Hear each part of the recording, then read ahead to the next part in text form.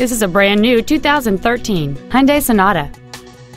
It features a 2.4-liter four-cylinder engine and an automatic transmission.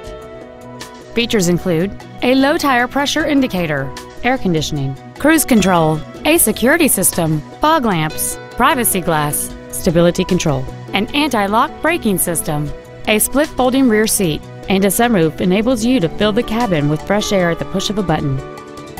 With an EPA estimated rating of 35 miles per gallon on the highway, it's easy to see how you can save.